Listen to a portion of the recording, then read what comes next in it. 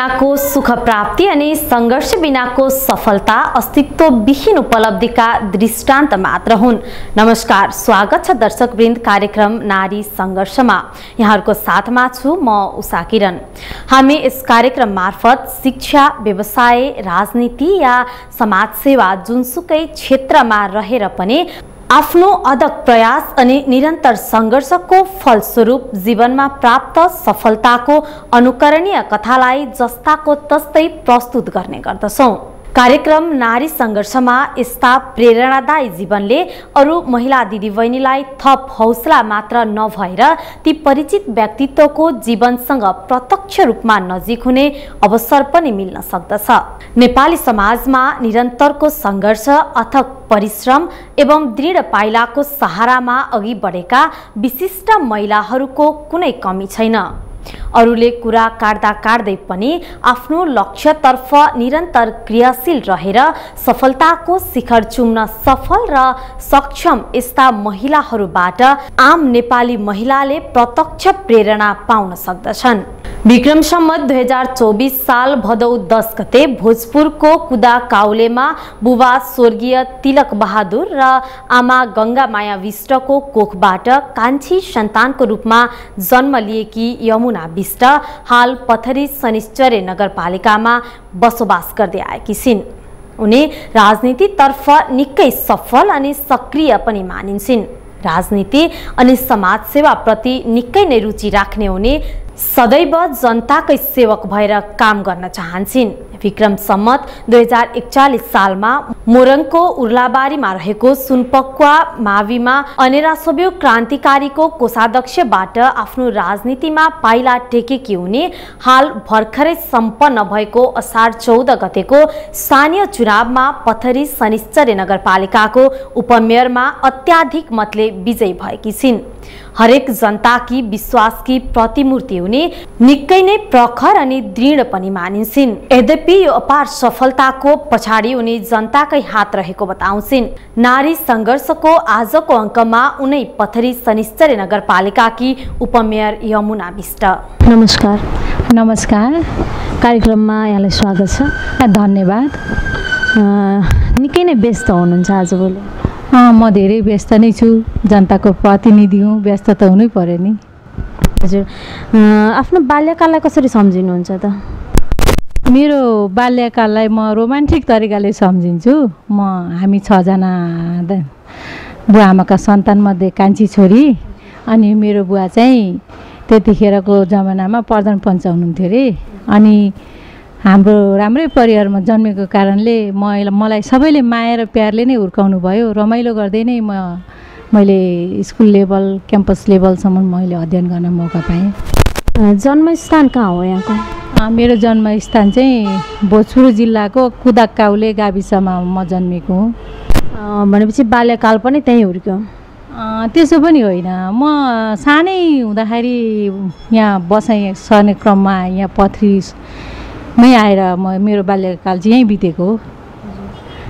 पठन पाठनलाई हेर्दाखेरि होइन कुन स्कुलबाट अध्ययन गर्नुभयो एसएलसी कुन स्कुलबाट दिनुभयो? मेरो पठन पाठन चाहिँ उर्लाबारीको राधिका माध्यमिकदेखि लिएर मङ्गलाबारीको सनपका माध्यमिकसम्ममा मैले एसएलसी उत्तीर्ण गरेको हो। त्यस पछाडि मैले विराटनगरको जनता ल क्याम्पसबाट बिएलसम्म अध्ययन गरेकी हुँ। हजुर बिएलसम्मको अध्ययन पुरा गर्नुभएको छ होइन? त्यस पछाडि राजनीतिमा प्रवेश गर्ने चाहिँ कसरी प्रेरणा जाग्यो त यहाँलाई? राजनीति क्षेत्रमा प्रवेश गर्ने प्रेरणा कसरी जाग्यो? त्यसमा चाहिँ मैले मङ्गलाबारी सनपका स्कुल पढ्दाखेरि म दुई हजार एकचालिस सालमा अनेरा सोब्यूमा कार्यरत भएर मैले काम गरेँ तिन वर्ष। त्यस पछाडि म मैले विराटनगर ल क्याम्पस पढ्दा पनि भरत मन अधिकारी चाहिँ मेरो गुरु हुनुहुन्थ्यो। मलाई अर्थशास्त्र पढाउनुहुन्थ्यो। उहाँको पनि प्रेरणा छ। त्यस्तै गरेर अब अहिले आएर फेरि बिचमा म दस वर्ष युरोप बसेँ जर्मनीमा बसेँ। त्यस पछाडि म नेपाल फेरि रिटर्न आएँ। त्यस पछाडि म पार्टीमै आबद्ध भएर काम गरिरहेको थिएँ मैले। नेकपा एमालेबाट चाहिँ मैले काम गरेर अगाडि बढिरहेको थिएँ। पार्टी प्रवेश गर्नुभयो होइन? राजनीतितर्फ लाग्नुभयो यहाँ। एमाले पार्टी नै रोज्नुको कारण चाहिँ के त? किनभने म बच्चैदेखि कम्युनिस्ट पार्टीलाई नै पिछा गरेर आइरहेको मनपर्ने कारणले गर्दा होला। मलाई कम्युनिस्ट पार्टी धेरै मन पर्थ्यो अब हाम्रो पछाडि गएर एमाले फ्याकल्टीपट्टि नै मैले रोजेँ। त्यसमै छु अहिलेसम्म र पछिसम्म। यो चाहिँ एकदम मलाई कस्तो लाग्छ भने अरू पार्टी पनि राम्रै हुन्छ तर मलाई किन किन यही पार्टी चाहिँ मिहिनेती र इमान्दारी जस्तो लाग्यो। अरू पनि राम्रो हुन्छ म अरू पार्टीलाई नराम्रै भन्दिनँ। सिद्धान्तहरू राम्रो छ। व्यक्तिमा न फरक पर्ने हो। पार्टीको सिद्धान्त त सबैको राम्रै हुन्छ। हजुर विवाह कति सालमा भयो त? मेरो विवाह चाहिँ अडचालिस सालमा भयो। विवाहको त्यो क्षण अलिकति सम्झिन सक्नुहुन्छ? अब मेरो विवाह चाहिँ क- दमक निवासी हेमचन्द्र बास्तोलासँग अरेन्ज म्यारिज नै भएको हो।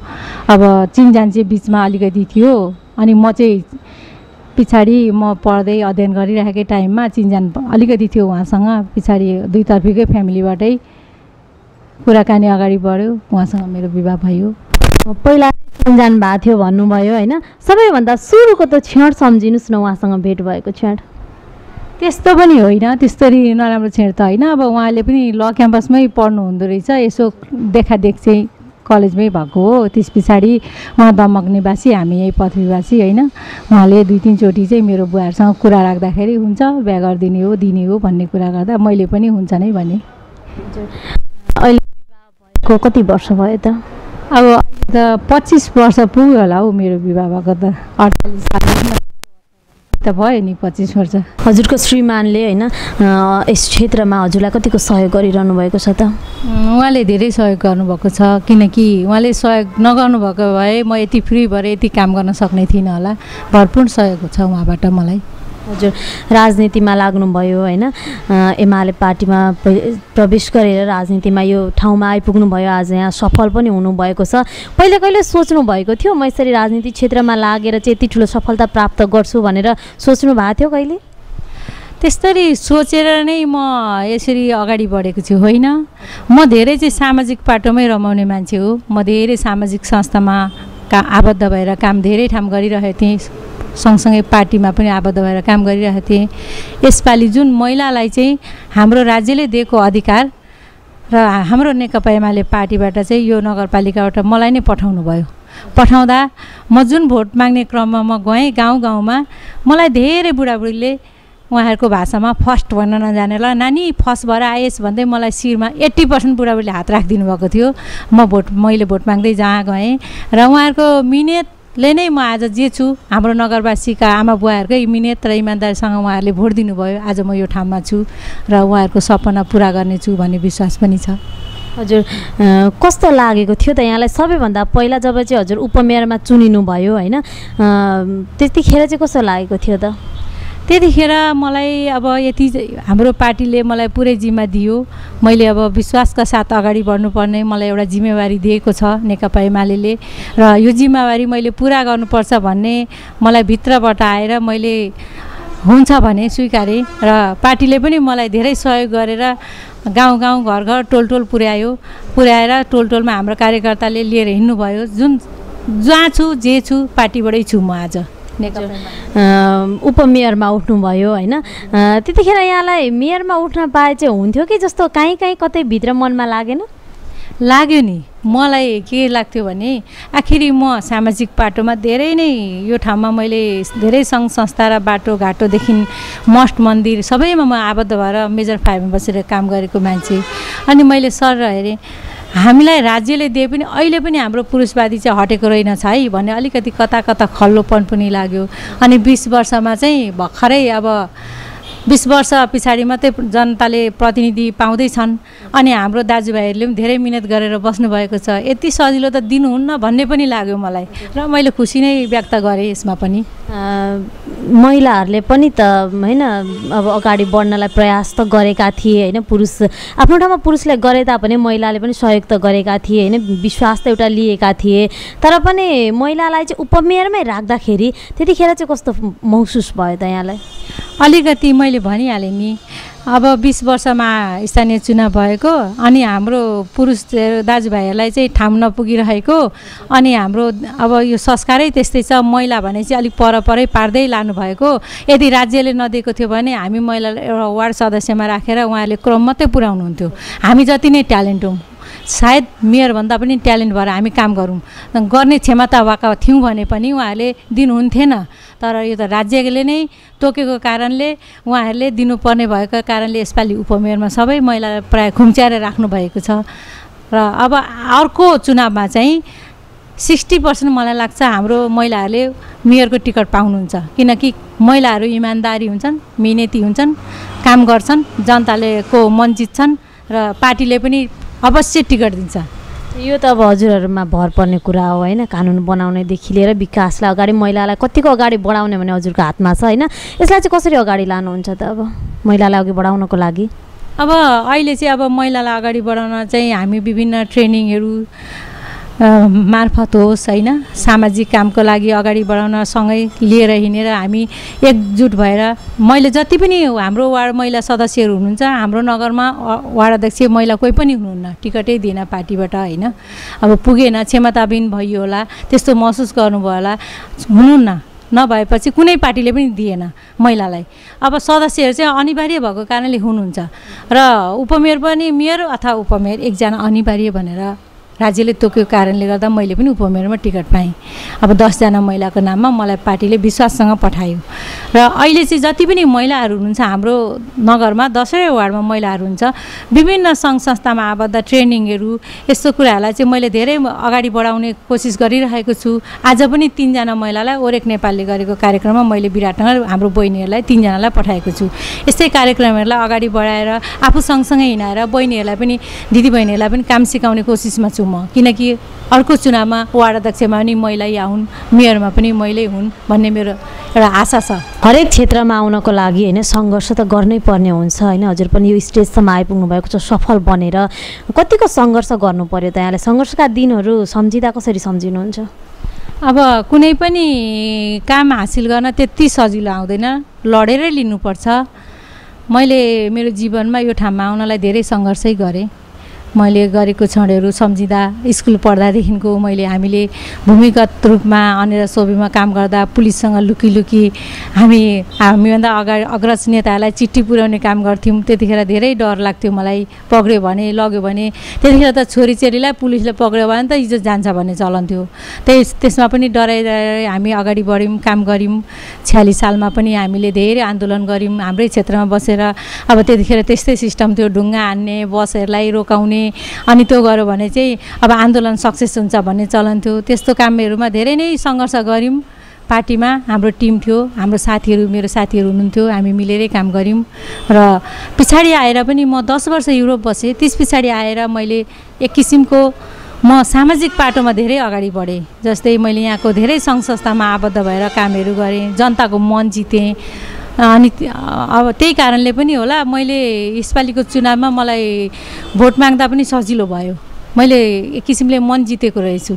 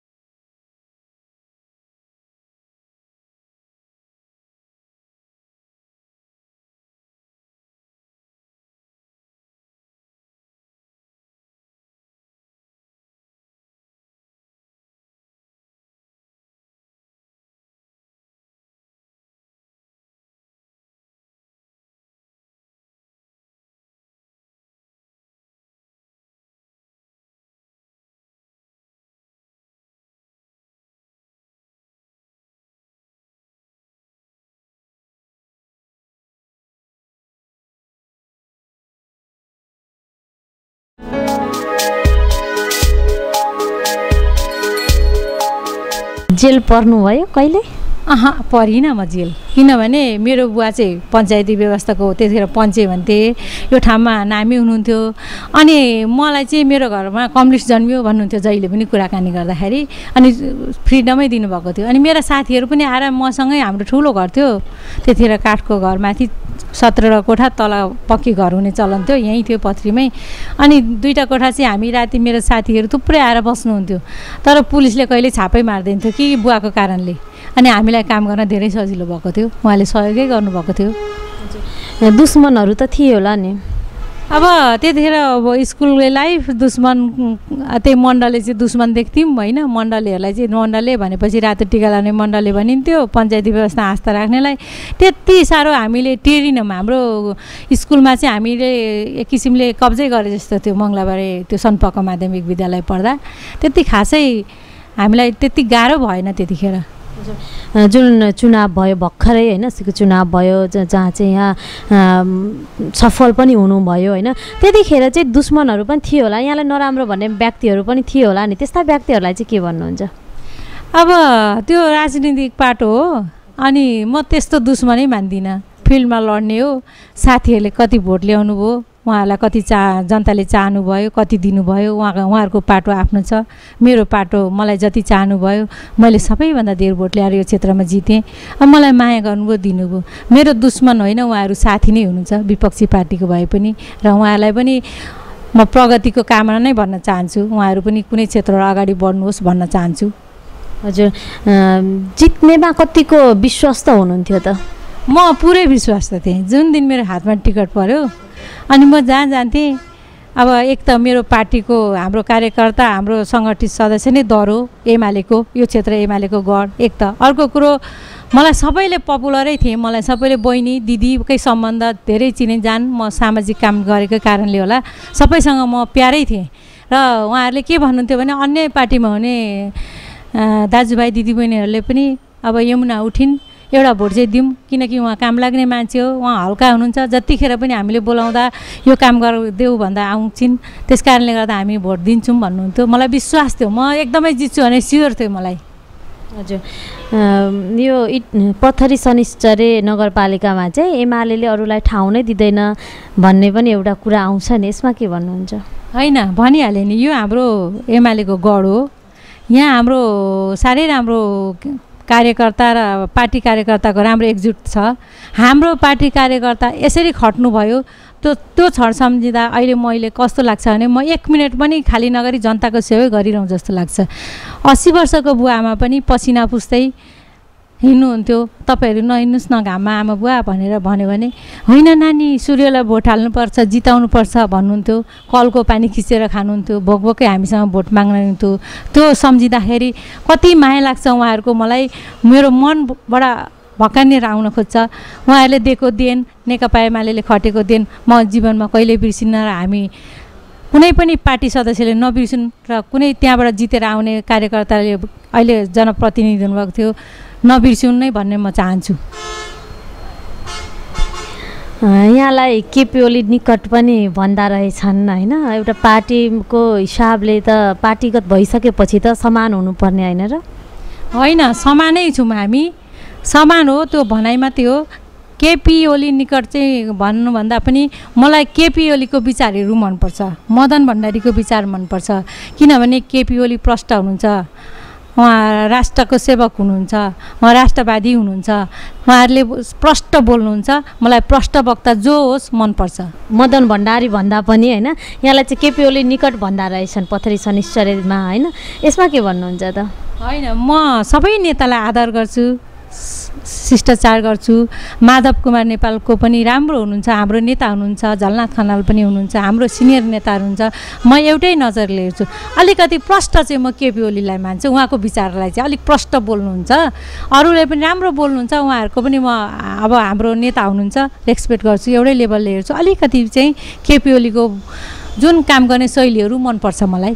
भनेपछि एमालेका अरू नेताहरूको शैली राम्रो छैन। होइन सबैको राम्रो छ। मैले भनिहालेँ नि म नराम्रो भन्दै भन्दिनँ सबै राम्रो हुनुहुन्छ। केपी ओलीकै सिद्धान्त चाहिँ खास मन पर्नुपर्ने कारण के त यहाँलाई? उहाँ राष्ट्रवादी हुनुहुन्छ नि त। भनेपछि अरू नेताहरू राष्ट्रवादी रहेनन्। होइन हुनुहुन्छ तर जति पनि सङ्कटकालमा हाम्रो केपी ओलीले लड्नुभयो नि हाम्रो अरू पार्टीबाट अरू नेताहरूले पनि लड्नुभयो तर उहाँ चाहिँ देखेको कुरा निडरसँग निष्पक्ष झट्टै बोलिदिइहाल्नुहुन्छ। भोलि के पर्छ भनेर सोचिरहनुहुन्न। आज के पर्दैछ? आजकै लागि हेर्नुहुन्छ अनि अरू हाम्रो अरू नेताहरूले पनि राष्ट्रवादी हुनुहुन्छ र तर अलिकति सोचेर भोलि के हुन्छ कि अब भोलि के भन्नुपर्छ भनेर सल्लाह गर्न थाल्नुहुन्छ। कहिलेकाहीँ त्यस्तो सल्लाह गर्दा गर्दै केही बिग्रिहाल्छ कि? त्यस कारणले मलाई म पनि त्यस्तै टाइपको छु। केपी ओली चाहिँ झट्टै डिसिजन दिन सक्नुहुन्छ। हो त्यो भएर मन परेको मलाई। यमुना विष्टलाई होइन भोलि योभन्दा पनि ठुलो ठाउँमा देख्न सक्छौँ त हामी। अब त्यो चाहिँ अब जनताहरूको हातमा हुन्छ। मैले काम गर्दै जाने हो। म यहाँभन्दा ठुलो ठाउँ पुग्छु। म यो यो ठाउँमा गएर भोलि गएर प्रधानमन्त्री हुन्छु भन्दिनँ मैले। किनभने भोलि गएर जनताले कहाँ पुर्याउनुहुन्छ? मैले पाँच वर्ष जनताको कतिको मन विश् विश्वास जित्न सक्छु? मेरो कार्य कस्तो हुनेछ? त्यतिखेरकै परिणामले दिनेछ। म के हुनेछु भन्ने कुरा। हजुर पाँच वर्ष कार्यकाल छ यहाँको होइन? पाँच वर्ष कार्यकालमा चाहिँ पथरी शनिश्चर्यलाई कस्तो बनाउन सोच्नु भएको छ त?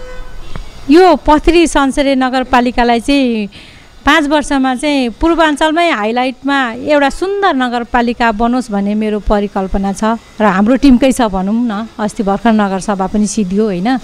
यसलाई चाहिँ हामी एउटा एक्स्ट्रा खालको फिफ्टी पर्सेन्ट त यहाँ हाम्रो नेचुरल छ बनिसकेको ठाउँ छ।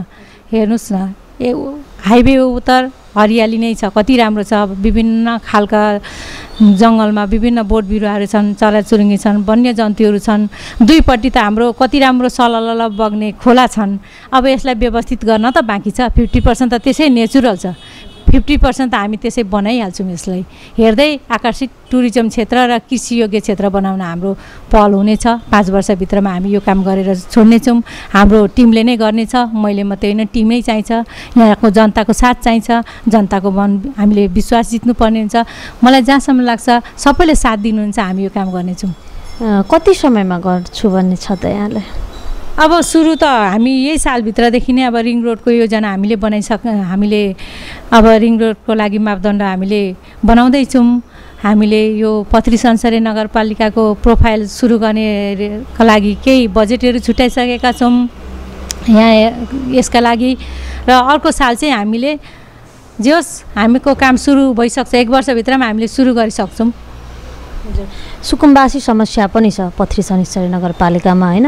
यसलाई कसरी समाधान गर्न सोच्नुभएको छ? यो त मेन टपिक छ हाम्रो त। हाम्रो यो नगरपालिकाको मेन टपिक्स नै पर्छ।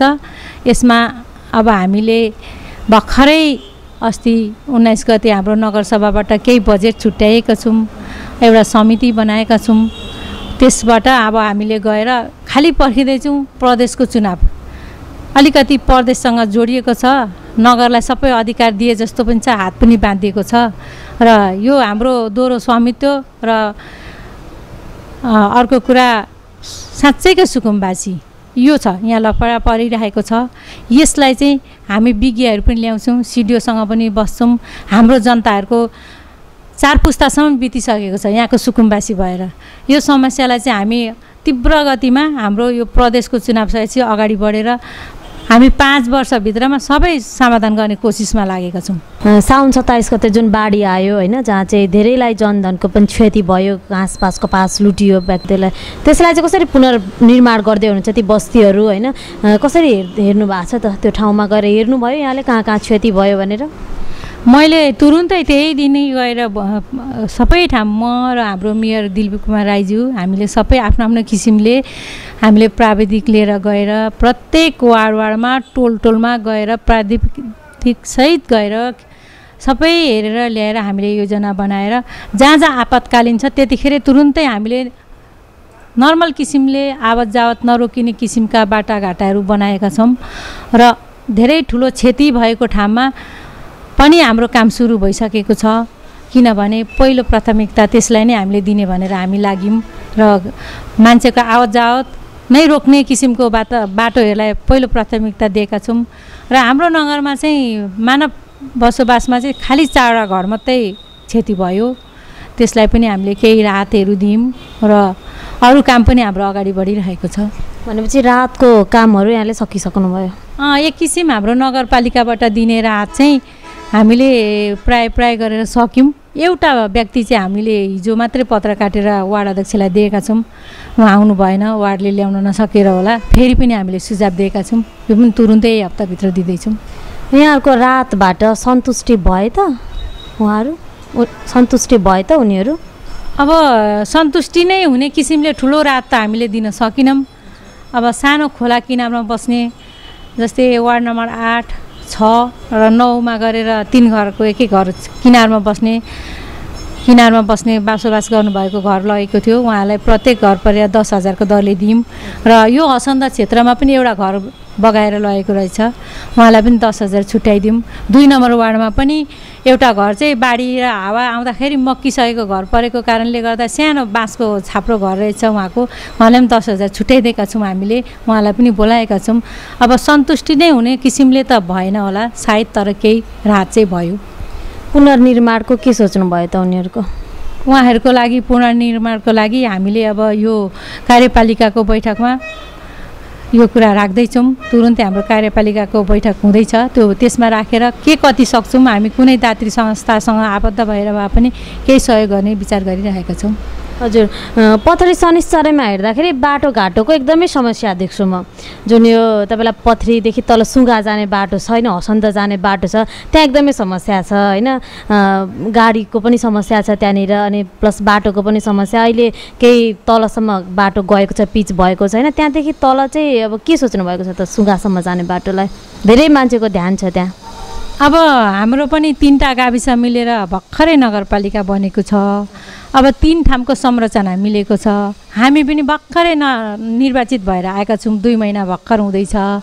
र त्यो बाटोको लागि पनि हामीले नमुना मार्गै बनाउने भनेर हाम्रो पहल छ। हामीले जोस् त्यस बाटोलाई धेरै ध्यान दिइरहेका छौँ। र त्यो बाटो हाम्रो अवश्य बन्छ। दुई वर्षभित्रमा हामीले त्यो बाटोलाई कालो पत्री बनाएर पुर्याउने योजना छ हाम्रो। दुई वर्षभित्रमा समाप्त गर्ने योजनामा लाग्नुभएको छ। लागेका छौँ हामी सबै लागेका छौँ। हामी विश्वस्त बनौँ त अब। बन्द भइहाल्यो नि किनभने नगरपालिकाले गर्ने काम हो। यो जनताको काम हो जनताको प्रतिनिधि हौँ हामी। हामीले लागेर गर्नुपर्छ। हामीलाई विश्वासले त्यही कामको लागि पठाउनु भएको छ। बाटोघाटो स्कुल स्वास्थ्य शिक्षा र कृषि। हर क्षेत्रमा हामीले ध्यान दिनुपर्छ। जनताले त्यही भनेर हामीलाई विश्वाससँग पठाउनु भएको छ। हामीले लाग्नुपर्छ र तपाईँहरूले पनि विश्वास मान्नुपर्छ।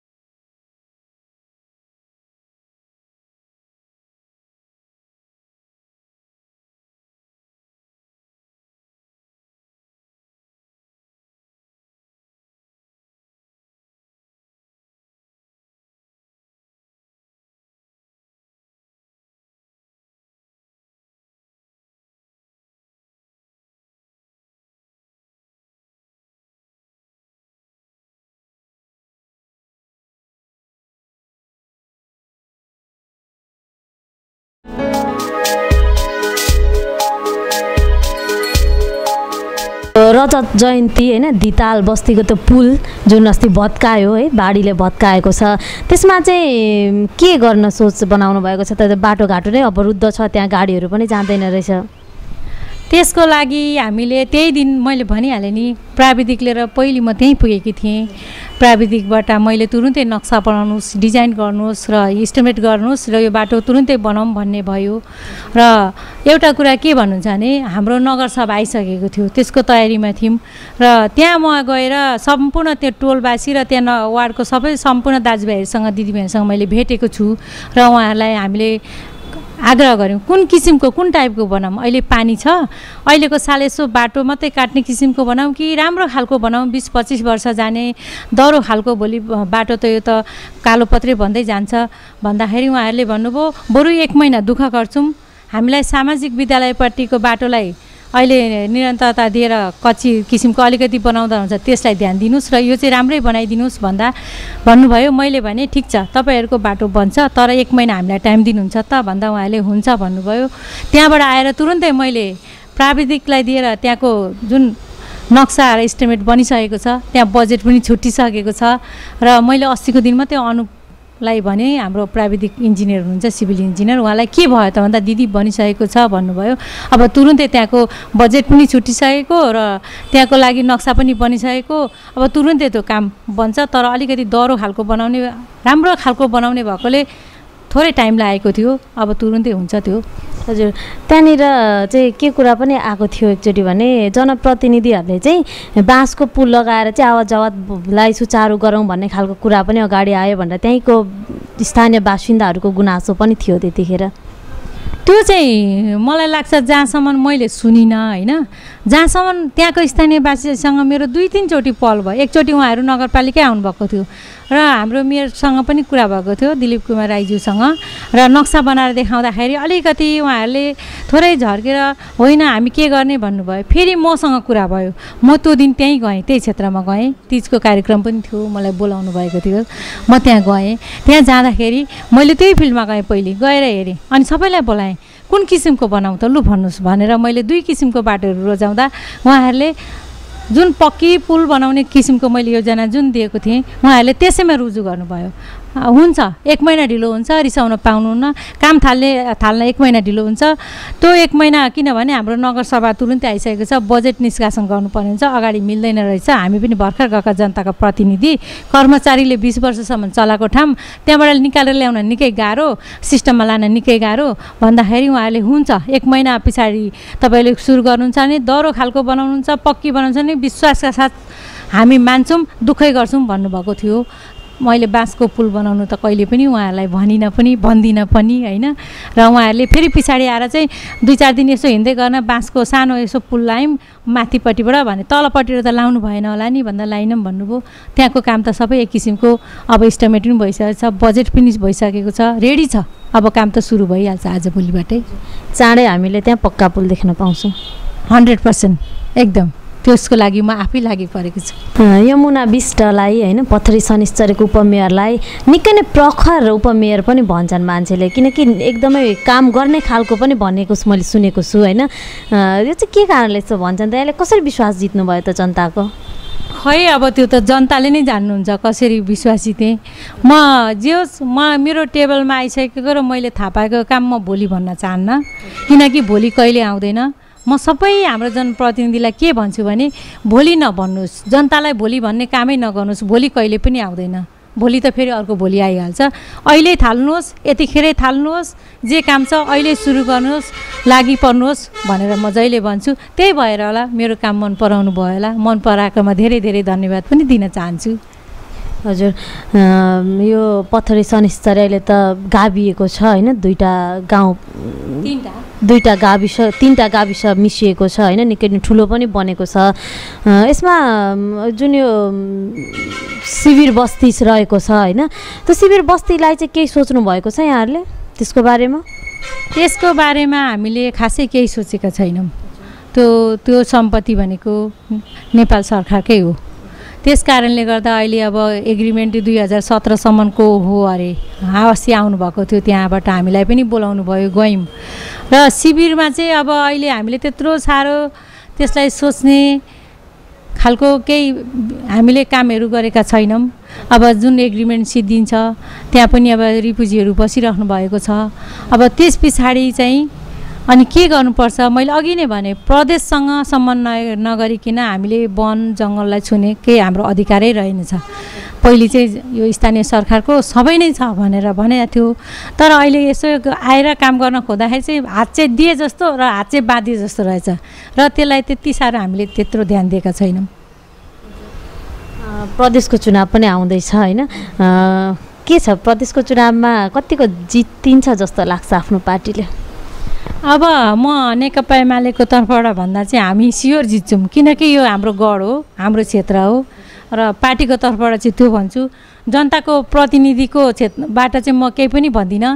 किनभने मैले पार्टीभन्दा माथि उठेर काम गर्नुपर्छ र पार्टीभन्दा माथि उठ्ने व्यक्तिले कहिले राजनीतिको कुरा नगर्नु भनेर हामीलाई पाँच वर्ष हामीलाई हाम्रो पार्टीले पठाएको छ र तपाईँले सोधिहाल्नुभयो र पार्टीकै हिसाबले कुरा गर्ने हो भने चाहिँ नेकपा एमाले जित्छ। नजित्ने कुरै आउँदैन नि। अब विभिन्न कुराहरू गर्ने क्रममा होइन यहाँको श्रीमान र श्रीमानको साथ र सहयोगको कुराहरू पनि हामीले गरिसक्यौँ होइन। अब भोलिको दिनमा चाहिँ होइन के सोच्नु भएको छ त यहाँले यो पथरी शनिश्चरी नगरपालिकाको लागि होइन यसलाई अगाडि लानको लागि अथवा यसलाई चाहिँ एउटा क्लिन सिटी बनाउनको लागि होइन कस्ता कस्ता प्रतिबद्धताहरू रहेका छन् त? यसको लागि त मैले अघि पनि भनिसकेँ हाम्रो क्षेत्रमा पहिलो प्राथमिकता हाम्रो फिफ्टी पर्सेन्ट त नेचुरलै छँदैछ। फिफ्टी पर्सेन्टलाई चाहिँ हामीले पहिले चाहिँ प्रत्येक वार्डमा प्रत्येक बाटो जुन ग्राभेल बाटोलाई हामी कालो पत्री बनाउँदैछौँ त्यसको दुई साइडमै हामी विभिन्न जात जातको बोट बिरुवाहरू रोपेर लान्छौँ। अनि यहाँ चिल्ड्रेन पार्क पार्कको व्यवस्था गर्छौँ। अब जस्तै यहाँनिर राम्रो राम्रो रिसोर्सहरूको व्यवस्था हामी गर्छौँ। कृषिको लागि पनि हामी अर्ग्यानिक खेतीलाई बेसी ध्यान दिन्छौँ। अनि हाम्रो बाटोघाटोहरू फराकिलो बनाएर लान्छौँ। र यहाँ अहिले हाम्रो क्षेत्रमा त्यति औद्योगिक क्षेत्र कुनै उद्योगहरू छैन ठुल्ठुलो उद्योगहरूको पनि हामी क्षेत्र छुट्याउँछौँ। त्यो क्षेत्रमा उद्योगहरूलाई धेरै सञ्चालन ल्याउ गराउँछौँ। किनभने उद्योग भयो भने हाम्रो युवा पिँढीहरू विदेशिनु पर्दैन। यहीँ नै रोजगारी पाएर यहीँ हाम्रो ठाउँलाई अगाडि बढाउनुहुन्छ। र जो विदेशमा गएर सिप सिकेर आउनुभएको युवा युवतीहरूलाई हामी यहीँ नै धेरै ठाउँहरू दिन दिन्छौँ। त्यस कारणले गर्दा हाम्रो नगरलाई पाँच वर्षमा चाहिँ हामी उद्योगमा पनि अगाडि बढाउन चाहन्छौँ। पर्यटनको लागि त पर्यट पर्यटकीय क्षेत्र बनाएर अगाडि बढाउन चाह चाहन्छौँ र ग्रिन सिटी बनाउन चाहन्छौँ र कृषिमा पनि हामी यसलाई धेरै नै ध्यान दिएर अग्रसरता भूमिका यसलाई हाम्रो नगरलाई चाहिँ अगाडि बढाउन चाहन्छौँ।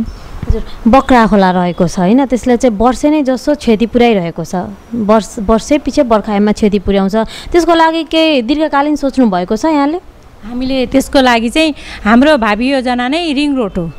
त्यो क्षेत्रलाई चाहिँ हामी विज्ञ मार्फत यता गएर डाँस खोला र बक्रा खोला त्यो साइडमा गएर त्यसलाई चाहिँ कतिसम्म भाग छोडेर उता हामी ग्रिन जस्तै विभिन्न बोट बिरुवा लगाएर त्योदेखि यता बिचमा चाहिँ तत्वर्णनकै किसिमले एउटा हामीले रिङ रोड बनायौँ भने त्यसलाई चाहिँ कस्तो हुन्छ नि रिङ रोड पनि भयो तटवर्णन पनि भयो हाम्रो क्षेत्र पनि हाम्रो रिङ रोडले नगरपालिका भोरी घेरेर हाम्रो टुरिज्महरू क्षेत्र त्यो टुरिस्टहरू जाने ठाउँ पनि बनाउने विभिन्न ठाउँमा पार्क पनि बनाउने त्यो खोलालाई चाहिँ मोरमा बदल्छौँ क्या हामी।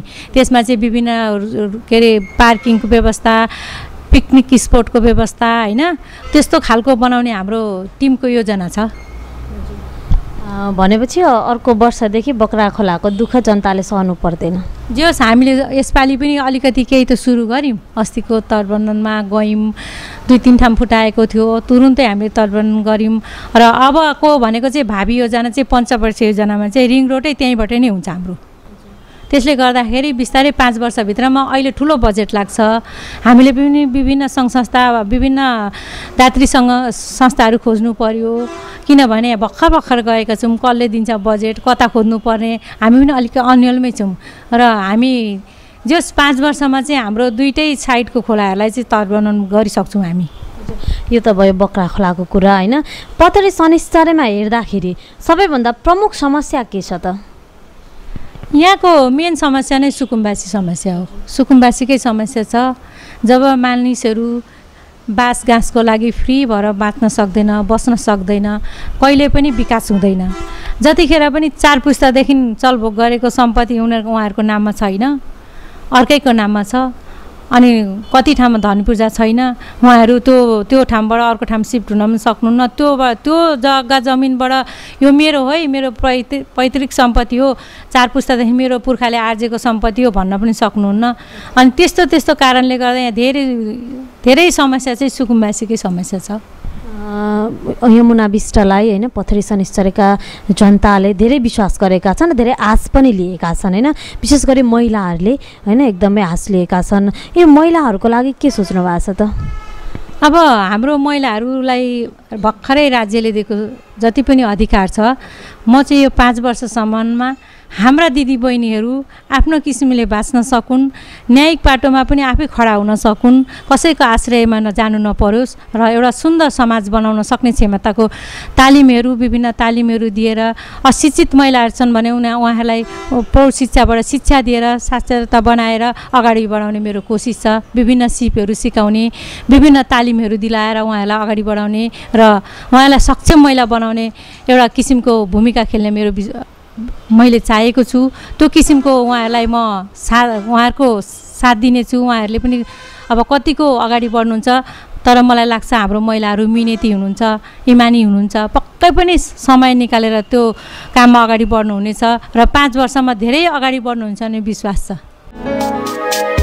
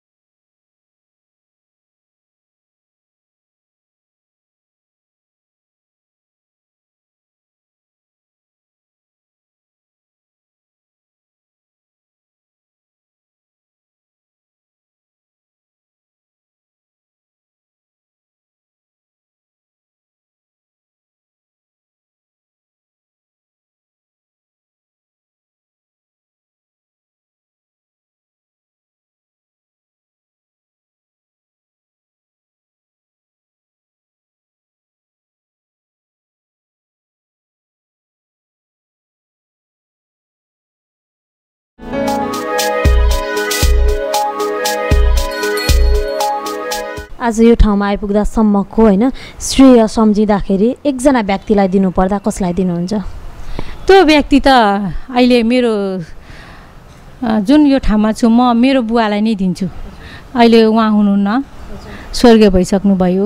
त्यतिखेर स्कुल पढ्दाखेरि धेरै गाह्रो थियो पञ्चायती व्यवस्थामा कम्युनिस्ट विचारधारा बोक्ने त्यसमा पनि छोरीहरूलाई पुलिसले पक्रेर लग्यो भने त लो बेइज्जत हुन्छ भनेर घरमै नभित्राउने चलन थियो। र मेरो बुवाले मलाई हाँसी हाँसी भन्नुहुन्थ्यो घरमा कम्युनिस्ट जन्मियो केही छैन फ्रिडमसँग छोडिदिनुहुन्थ्यो। म कहिलेकाहीँ यहाँदेखि विराटनगरको क्याम्पससम्म कार्यक्रम हुँदा जान्थेँ दिनुहुन्थ्यो। र हामी कहिलेकाहीँ मधुमल्ला बिर्तामोडसम्म जान्थ्यौँ। त्यो टाइममा पनि उहाँले मलाई फ्रिडमै छोडिदिनुहुन्थ्यो र म जब ल क्याम्पस पढ्न गएँ मेरो बुवाले गएर एडमिसन गरिदिनु भयो। मेरो छोरीलाई म टप वकिल बनाउँछु ताकि मेरो छोरी यो यो दुनियाँमा लडेर स सबैसँग अगाडि बढेर खान सकोस् भन्नुहुन्थ्यो। तर बाइदवे म मैले ल पढेँ मात्रै वकालत गर्न सकिनँ किनकि मेरो बिचमा बिहा भयो। म युरोप गएँ। मैले त्यता छोडिदिएँ। म जर्मनी जाँदा धेरै त्यतिखेर कस्तो लाग्यो भने युरोप जाने कमै व्यक्ति हुन्थ्यो कि त्यतिखेर। म कहाँ त्यहाँ जान्छु या यहाँ पढेर अब यति नै पढेँ अब यहाँ त म पढ्दिनँ। युरोपमा जान्छु उतै रमाइलो हुन्छ उतै काम गर्ने उतै उतै बस्ने हो भन्ने सोचले म गएँ मेरो हस्बेन्डसँगै गएँ। उहाँ उतै हुनुहुन्थ्यो म मलाई लानुभयो म गएँ। वास्तविक दस वर्ष बसेपछि कस्तो कस्तो लाग्यो अर्काको देश त अर्कैको हुँदो रहेछ। आफ्नो देश भनेको आफ्नो देश। अर्काकोमा त जति नै ठुलो भएर आए पनि ले भरै त हुँदो रहेछ। कसले चिन्ने हामीलाई? होइन यति मिहिनेत त मेरै देशमा गएर गर्छु भनेर म फेरि रिटर्न ब्याक आएँ। मेरो हस्बेन्ड आउनु भएन। मलाई बोलाउनु भयो म जाँदै गइनँ। चार वर्ष पछाडि उहाँ पनि यहीँ आउनुभयो छोडेर। त्यस पछाडि म यतै सेटल भएँ। दस वर्षसम्म यहाँ राजनीतिबाट टाढा रहनुभयो समाजसेवाबाट पनि टाढा रहनुभयो होइन? त्यस्तै कि पछाडि फेरि कसरी चाहिँ अब एउटा दस वर्ष भनेको त लामो समय हो होइन? दस वर्ष पछाडि फेरि समाजसेवा नै गर्छु भन्ने चाहिँ प्रेरणा कसरी आयो त? यहाँलाई सोच कसरी आयो त्यो? यो यो ठाउँ खासमा भन्ने भने यो पथरी पथरी त्यतिखेर पथरी गाउँपालिका मात्रै थियो। मेरो बुवाको धेरै देन थियो यो ठाउँमा सामाजिक काममा। र म जब फिर्केर आएँ म पहिले पनि मेरो बुवा सामाजिक काममा हिँड्दा पछि पछि हिँडेर हेरिरहेको हुन्थेँ। र म आएँ आउने बित्तिकै मैले के भने यो ठाउँमा यो माथि जङ्गलमा एउटा भुल्के देवी मन्दिर छन्। मैले के भने यहाँ दुई चारजना सामाजिक वीरबहादुर बस्नेत हुनुहुन्थ्यो नेपाली काङ्ग्रेसको दाई अनि यहाँ हाम्रो किशोर राई हुनुहुन्छ अहिलेको मेयर दिलीप कुमार राई दाईहरू अनि सबैजनालाई के भने भने त्यहाँ एउटा मन्दिर बनाऊ यहाँ एउटा बाटो बनाऊँ। किनभने यो जङ्गलमा टुरिज्म क्षेत्र पनि हुन्छ एक किसिम धार्मिक तथा पर्यटकीय क्षेत्र हुन्छ मान्छेहरू पनि आवत हुन्छ। यो क्षेत्रलाई जहाँ गए पनि पथरी कहाँ घर भन्यो नि पथरी? तिमीहरूको त सुँगुरकै खोर मात्रै हुन्छ भनेर मेरो साथीले धेरै कमेन्ट गरे मलाई काठमाडौँ जाँदा। मैले भने होइन हेर है दस वर्ष पछाडि हाम्रो ठाउँ कस्तो हुन्छ? भने मैले। अनि आएर समिति बनायौँ।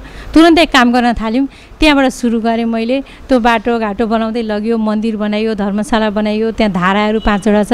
हेर्दै नै आकर्षित ठाउँ बनायौँ। त्यसमा संयोजक मै भएँ काम गरियो। त्यस पछाडि वाणिज्य व्यापार सङ्घ थियो। त्यसमा चुनावको एउटा सन्दर्भमा मैले सानो भर्खर मनी ट्रान्सफर थालेको थिएँ आएर त्यत्तिकै किन बस्ने भनेर। अनि मैले पनि गएर उम्मेदवारी दिएँ उप उपाध्यक्षमा। दिएँ नभन्दै मलाई सबैले सपोर्ट गर्नुभयो त्यहाँ। म उपाध्यक्ष भएर मोरङ जिल्लाको पहिलो महिला उपाध्यक्ष भएर मैले तिन कार्य एक कार्यकाल काम गरेँ त्यहाँ। त्यहाँबाटै मैले कामहरू फेरि सुरु गरेँ। पार्टीमा म क्षेत्रमा रहेर म सदस्य भएर काम गरेँ। आएपछि मलाई हाम्रो अहिलेको सांसद चण्डीकोमा चण्डी प्रसाद राईले भन्नुभयो पहिलेको त्यस्तो राम्रो मान्छे यमुना बहिनी ल आउनु क्षेत्रमै भनेर उहाँहरूले मलाई लानुभयो। क्षेत्रीय सदस्यमा राख्नुभयो। क्षेत्रैमा काम गरिरहेँ र त्यही बिचमै त्यही साथीहरूसँगै घुलमिल भयो।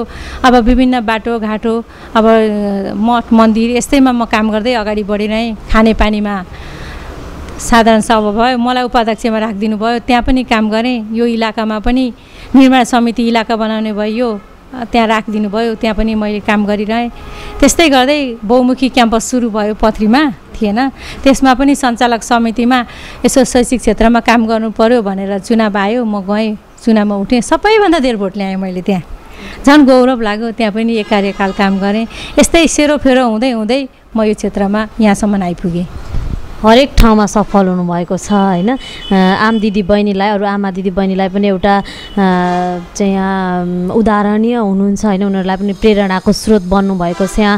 कस्तो लाग्छ त्यहाँलाई हरेक ठाउँमा सफल हुनुभएको छ। विश्वास पनि गरेका छन् जनताले। त्यो चाहिँ म सबै जनताकै विश्वासबाट छु र मेरो पहिलो चाहिँ म प्राथमिकता कसलाई दिन्छु नि म ज्येष्ठ नागरिकलाई दिन्छु। किनकि उहाँहरू हाम्रो आमा बुवा हुनुहुन्छ जो होस् जहाँ हुनुहुन्छ जसको हुनुहुन्छ हाम्रो आमा बुवा हुनुहुन्छ म पहिलो उहाँहरूसँगै आशीर्वाद लिन्छु। जुन वार्डमा जान्छु जुन टोलमा जान्छु जुनसुकै पार्टीको मलाई मतलब हुँदैन। उहाँहरूसँग म आशीर्वाद लिन्छु र म युवा भाइ बहिनीहरूलाई धेरै समेट्छु। किनभने युवा नै देशका खम्बा हुन् र मलाई धेरै माया चाहिँ बुढाबुढी र युवा युवाले नै गर्छन्। र यो जुन बालबालिकाहरूले पनि मलाई धेरै घुम्छन्। किनकि म बालबच्चाहरू मेरै छोराछोरी जस्तो लाग्छ। सबैको छोराछोरी मेरै छोराछोरीको नजरले देख्छु म। किनकि कति छिटो माया लाग्छ र युवाहरूलाई चाहिँ म धेरै प्रोत्साहन गर्छु। किनकि युवा छन् त देश छ। अनि पिल्लरै हामीले दह्रो बनाएनौँ भने भोलि कसरी ठुलो घर थाम्छ? यो देश कसरी चल्छ? यो देशका यो नगरका यो टोलका युवाहरूलाई म धेरै साथ दिन्छु। र उहाँहरूले मलाई धेरै सम्मान पनि दिनुहुन्छ। हाम्रो दिदी भन्नुहुन्छ सबैले ठाउँमा मलाई युवाहरूकोले मलाई जे दिदी भनेरै जहिले पनि जहाँ पनि साथ दिनुभयो दिइराख्नु भएको छ र यो बुढाबुढीले हाम्रै छोरी भन्नुहुन्छ। अनि एक किसिमको आनन्द लाग्छ नगरभरि जहाँ जाँदा पनि छोरी फर्स्ट भएर आऊ है भनेर आशीर्वाद दिनुहुन्छ। त्यही आशीर्वादको कारणले होला सायद र मेरो पार्टीको सङ्गठन डह्रो भएको कारणले होला आज म यहाँ छु। ज्येष्ठ नागरिक भन्नुभयो होइन ज्येष्ठ नागरिकको लागि के सोच्नु भएको छ त? ज्येष्ठ नागरिकको लागि त म जहाँ जाँदा पनि मैले भनेको छु मेरो कार्यकाल पाँच वर्षभित्रमा नगरमा आएको सुविधा जति पनि जे छ त्यो सुविधालाई उहाँहरूलाई फराकिलो बनाउने वातावरण बनाउने छु र जुनसुकै वार्डमा पनि विश्रामालयको व्यवस्था गराउने छु र अर्को कुरा भर्खरै यो ज्येष्ठ नागरिकको भत्ताको बारेमा अलिकति हामीले दुई चारजनाले कमेन्ट पनि गर्नुभएको थियो। हामीले भोट माग्दै जाँदा हजुरहरूको घर घरमै ल्याएर हामी भत्ता दिन्छौँ भनेका थियौँ। त्यो काम चाहिँ अहिले राज्यले चाहिँ जसरी पहिले नगरपालिकाबाट बाँड्थ्यो नगरपालिकाबाट बाँड्न नदिने भन्ने एउटा कानुन बनेको रहेछ। त्यो कानुनभन्दा त हामी बाहिर जान सकेनौँ। र भर्खर एउटा हाम्रो कार्यपालिकाको मिटिङमा मैले एउटा पहिलो प्रस्ताव राखेँ। यो भत्ता दिने सिस्टमलाई चाहिँ जति पनि हाम्रो नगरपालिकाभित्र ब्याङ्कहरू छन् त्यो बिजनेसको लागि आउनुभएको छ। त्यसै आउनु ब्याङ्कहरू आएको छैन त्यसै ब्याङ्क लिएर आउनुभएको छैन। उहाँहरू पनि कमाउनै आउनुभएको छ भने उहाँहरूलाई चाहिँ उहाँहरूले चाहिँ जति पनि वार्डमा हाम्रो बुढाबुढी ज्येष्ठ नागरिकहरू र असहाय जति पनि आउन नसक्ने अपाङ्गता हुनुहुन्छ उहाँहरूको लागि चाहिँ हामीले एउटा एग्रिमेन्ट गरौँ ब्याङ्कलाई बोलाऊँ र बोलाएर जो आउन सक्नुहुन्न ब्याङ्कले आखिर ती तिन महिनामा भत्ता दिन्छ। घरमै पुर्याउने वातावरण र आउन सक्ने बजार घुम्नेले आफैले लिएर जानुहुन्छ र खाता खोल्न पनि नसक्नेलाई घरमै गएर खोल्ने जसले चाहना गर्छ त्यसलाई मात्रै हामी एग्रिमेन्ट गरेर दिउँ र नगरमा सुविधा पनि पाउँछ। ब्याङ्कले यो यो प्रस्ताव राखौँ भनेर मैले कार्यपालिकामा राखेँ। सबैले स्वीकार्नुभयो र त्यही किसिमले हामीले ब्याङ्कलाई बोलाएर एग्रिमेन्ट पनि गरेका छौँ। छवटा ब्याङ्कलाई हामीले दसवटा वार्डलाई विभाजन गरेर दिएका छौँ र त्यही किसिमले ब्याङ्कहरू पनि गएर आउन नसक्नेको घरैमा गएर खाता खोल्दै हुनुहुन्छ। र आउन सक्नेको टोल टोलमै बसेर खोलिदिँदैछ आउन सक्ने ब्याङ्कमै खोलेर पनि जानुभएको छ र पैसा पनि आउन नसक्ने जुन आउनै नसक्ने बुवा आमाहरू हुनुहुन्छ उहाँहरूको घरमै ब्याङ्कले पुर्याउँछ। यदि पुर्याएन भने हामी तुरुन्तै नगरमा बोलाएर ब्याङ्कले के कति कारणले पुर्याएन स्पष्टीकरण माग्छौँ किनकि त्यो नगरको अधिकार हो। पक्कै पनि एकदमै विश्वास गरेका छन् होइन? हरेक ज्येष्ठ नागरिकदेखि लिएर हरेकले यमुना विष्ट उपमेयरलाई एकदमै विश्वास गरेका छन् होइन? अन्त्यमा मैले यहाँलाई सोध्न छुट्याएको अनि यहाँले भन्न छुट्याउनु भएको केही छ भने बताइदिनुहोस्। अब खासै त्यस्तो छुटाउनु त भएको छैन तर पनि म के भन्न चाहन्छु भने हाम्रो नगरवासी दाजुभाइ दिदीबहिनी आमा बुवाहरू जो हुनुहुन्छ उहाँले जति विश्वासले हामीलाई यो ठाउँमा पुर्याउनु भएको छ र उहाँहरूको विश्वासलाई हाम्रो टिमले र म र हाम्रो टिमले धोका दिने छैन र उहाँहरूको सुझाव र सल्लाह लिन हामी प्राय गरेर जाने नै छौँ महिनामा एकखेप उहाँहरूको घर दैलोमा। र अर्को कुरा एउटा सानो कुरा छुटेछ मैले एउटा म न्यायिक समितिको संयोजक उपमेयर भनेको चाहिँ एउटा न्यायिक पाटोमा पनि संयोजक भएर काम गर्नुपर्ने भएको कारणले मैले एउटा न्यायिक समिति गठन गरेको छु। त्यसमा दुईजना सदस्यहरू हुनुहुन्छ र म न्यायिक संयोजक छु।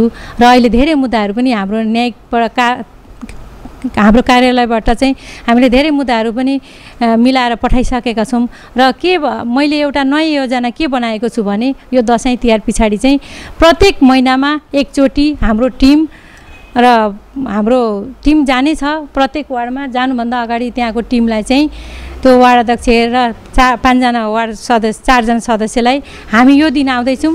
त्यो वडा कार्यालयमा अथवा कुनै टोलमा र कुनै धर्मशाला होस् चाहे भेला पार्नुहोस् त्यहाँ कोही अन्याय परेको जनताहरू हुनुहुन्छ कोही अन्यायमा पर्नु भएको छ र जस्तै त्यो मात्रै नभएर यहाँबाट गएको जुन बजेटहरू वार्डहरूमा जिम्मा दिएका छौँ त्यो काममा जो खुसी हुनुहुन्न सायद प्रतिनिधिहरूले पनि बा गलत काम गरिरहेको छ कि त्यसको लागि सोधपुछको लागि हाम्रो टिम महिनामा एकखेप जाने मैले एउटा नियम बनाएको छु त्यो चाहिँ यो दसैँ तिहार पछाडि तुरुन्तैदेखि महिनामा एकखेप गएर त्यहाँ गएर केमा खुसी हुनुहुन्न त्यहाँको जनताहरू। र केमा अन्यायमा पर्नुभएको छ? कुनै बाटोमा लगानी गर्ने ठाउँमा अर्कोमा पो लगानी भयो कि? कुनै मन्दिर बनाउने ठाउँमा त्यहाँ बजेट गएको त्यहाँ पुगेन कि? त्यसको हामी निगरानी गर्नेछौँ। निस्वार्थ भावनाले अगाडि बढ्ने हो भने अवश्य पनि सफलता प्राप्त गर्न सकिन्छ। यसको ज्वलन्त उदाहरण हामी यमुना विष्टलाई लिन सक्दछौँ। दर्शकवृन्द हामी कार्यक्रमको अन्त्यतर्फ आइसकेका छौँ। आज हामीले प्रस्तुत गर्यौँ निकै नै सफल अनि सबैकी विश्वासकी प्रतिमूर्ति अनि आम नारीहरूकी प्रेरणाकी स्रोत पथरी शनिश्चर्य नगरपालिकाकी उपमेयर यमुना विष्टसँगको कुराकानी नारीको महानता बुझ्नु छ भने नारीलाई सम्मान गर्न सक्नुपर्छ हवस् त अर्को हप्ता यसै समयमा यस्तै सङ्घर्षशील अनि सफल महिलाको जीवन भोगाइलाई लिएर उपस्थित हुने नै छौँ तबसम्मको लागि मौसा किरण यहाँहरूको टेलिभिजन स्क्रिनबाट बिदा हुने अनुमति चाहन्छु नमस्ते